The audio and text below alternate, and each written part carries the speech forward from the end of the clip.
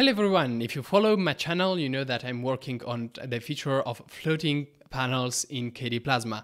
And I've worked on this for like months at this point. It took me way more than I expected. I remember asking for donations about this very thing months and months ago. But now finally it's almost done and with a bit of luck it will be in the next release of Plasma 5 as I said. However, it was hard. It was super hard, and I want to explain why doing that feature was that hard. So let's get into it. So how would you think of approaching this is, okay, you have like the monitor, this is the border of the monitor, and usually you have the panel, but we want to make this floating. Okay, so we could just put a margin to the left and to the bottom of the panel, and it would become like this. And here you get the icons. And uh, that's actually not enough at all. It would be super simple to do this, but it's not that, like that. First of all, if you look closely to the panel, you can see that the borders are not rounded, which makes sense. If you like shorten the panel, they become rounded, but not on the bottom. If a panel is floating, it should be rounded. So what you have to say is, okay, if it's attached to the border, then it shouldn't be rounded. If it's floating, it should be rounded. And of course, I do animate between the two. If you click on the please float button, or if you maximize a window, the panel stops floating and there's an animation between not floating and floating. So you do actually have to animate between the two like this. What's the issue? If you animate between these two, you also have to animate the corners. Otherwise, it would look weird that it goes from being uh, not rounded to immediately rounded. How can you animate between rounded corners and not rounded corners? You can't. You just can't. I've looked everywhere and it's not possible to animate within the two, which is an issue. There's also another issue. Now, what you see as the panel looks like just a panel and you think, okay, that's the panel, that's easy.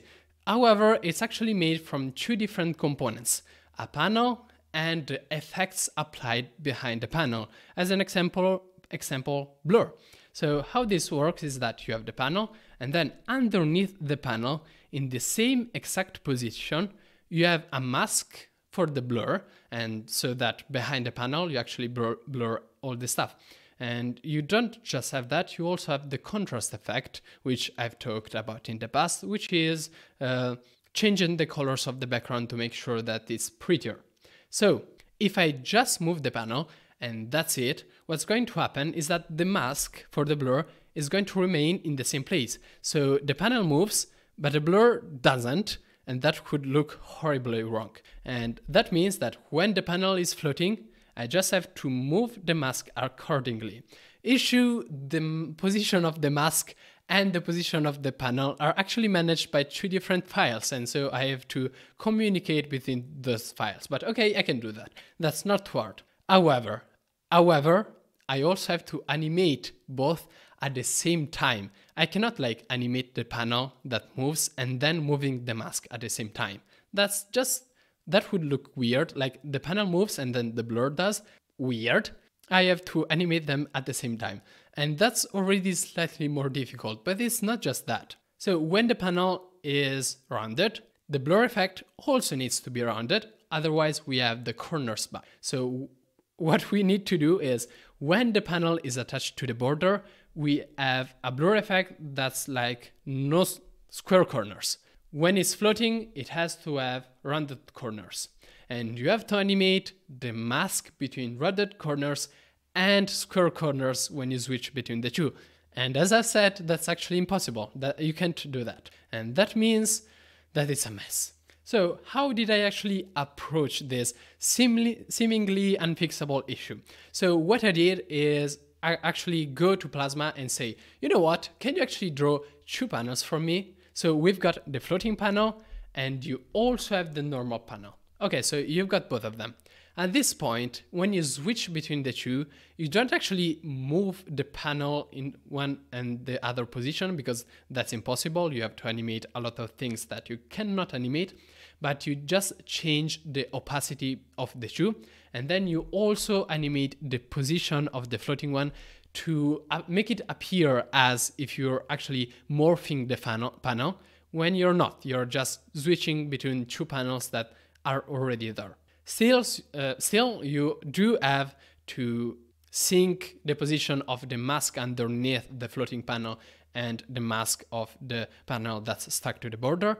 And also you need to change the masks of the two panels because you have two panels, you're going to have two masks.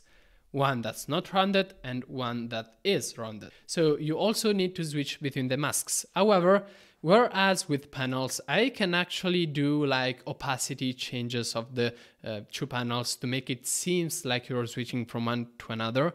Uh, the mask is just that one. It, you cannot give opacity to the mask. Blur is going to be blur regardless of where it is. So you just need to switch from one to another without any animation. And that would sound easy if it was. However, it isn't.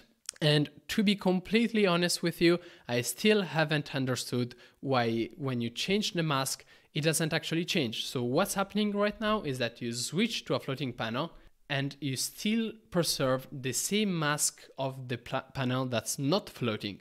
And that means that you get a corner back. So currently I'm trying to implement floating panels. I'm almost there, but I still get corners back, which is annoying. Now, before I wrap up and explain how I actually the last issues that I'm trying to solve. Let me just say that if I'm able to do this because it's my free time, it's only thanks to the people who actually donate to my Patreon and PayPal and everything. So I really, really have to say thank you for all of them because otherwise, without them, I wouldn't be able to have this much time to dedicate to KDE. So if you have some mind to spare, even a couple of bucks every month, that would help. But anyway, let me get back to my sweet panels and let me actually get in slightly more detail. So let's open up the panels that, sorry, the files that I'm working on. So I was almost done, almost done until I sent the merge request and I was please asked to add an option to switch between a panel that's floating and a panel that's not floating. And I thought, okay, that's not too hard. I just have to add an option to actually check if a panel is floating or not. So what I do is I've got panel code and this is like the panel view code. And in here, I just check if the panel configuration file has it's floating or it's not floating in it. And if it's floating, it sets a variable that can then be read by here, which is just appearance of the panel. And the appearance of the panel actually changes the margin only if it's floating. And by changing the margin, it has an animation on a variable that is then read by the panel code, which then takes that uh, variable and updates it during the update mask um, the update mask function. What is the update mask function? It's the function that actually draws the mask and then does the blur and the contrast effect. And you do have it here.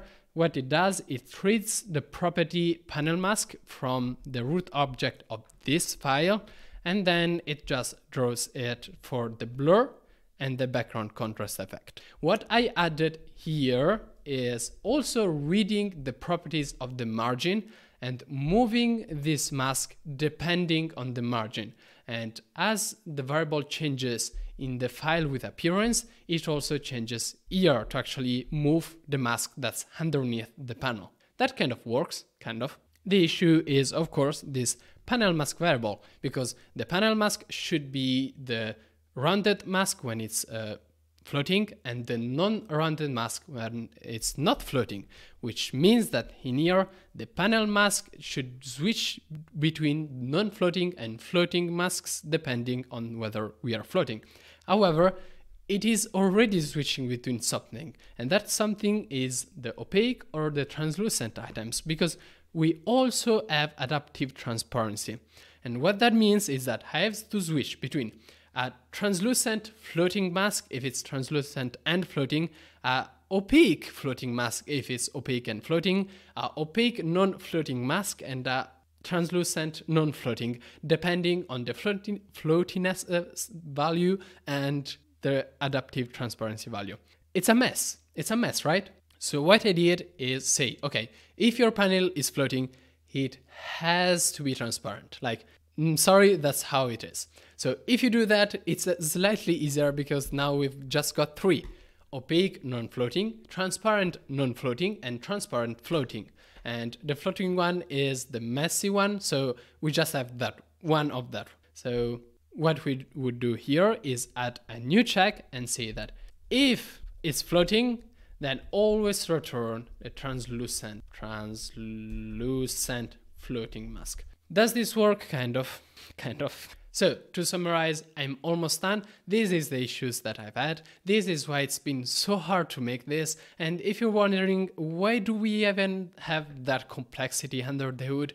Uh, well, complex things are complex and Plasma is a desktop and a desktop is not easy. As an example, blur and contrast effect underneath the panel being managed by a different file. That's because of a variety of reasons. First of all, blur and contrast effect are actually completely independent on uh, when they're used. You can use blur and the contrast effect, the very same ones, pretty much everywhere, and third party might want to use it too. Some uh, Plasma themes don't use it, some Plasma themes do, so you have to be super customizable in that regard. And also, at the very beginning, of KDE Plasma, everything was in the C++ file. Then QML came and it was later, so everything had to be ported to QML. And it's not so easy to make sure that over time all of the code base uh, still makes sense, complete sense. So you do have to deal with a bit of weirdness in the code sometimes. And for the floating panels, that's what killing me right me right now. Sorry.